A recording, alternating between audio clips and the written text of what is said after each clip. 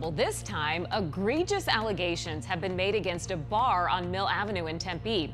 Varsity Tavern has closed its doors after state investigators say bar employees and managers were allowed or possibly forced to work after testing positive for the coronavirus. Let's get right out to Team 12's Bianca Bono, who is live outside Varsity Tavern with the disturbing details. Bianca. Hey guys, well, the doors are now locked here at Varsity Tavern in Tempe. According to the state liquor board, they have firsthand accounts and incriminating evidence proving that employees here, symptomatic employees, continued to come to work and serve customers. I talked to a Valley doctor who says if you've been here recently, you should get tested.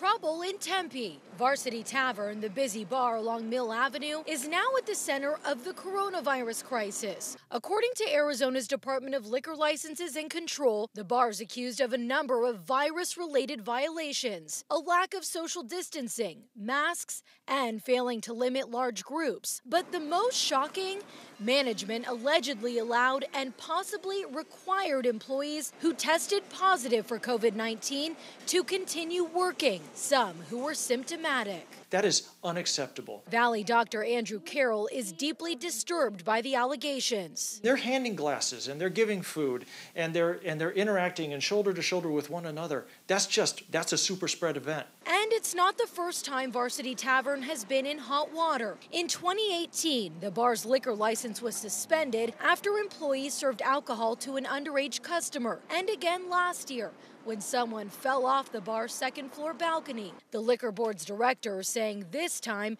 the department will move to revoke the bar's license. It's kind of sad if they knew that's not really a smart move for society as a whole. We're trying to get better with this not make it worse. Tempe resident Ben Parquette says he was at the bar a week and a half ago. Dr. Carroll's advice for him and anyone else who was there recently? But anybody who's patronized that restaurant during the time that we know those people were sick really should be tested. They should be quarantined and isolated. And this bar voluntarily closed yesterday after getting that notice from the liquor board. I repeatedly tried to get in contact with the owners of this bar. I spoke briefly with the chef over the phone who told me they would get back to me, but they're no longer taking my calls. We're live in Tempe tonight. Bianca Bono, 12 News at 10.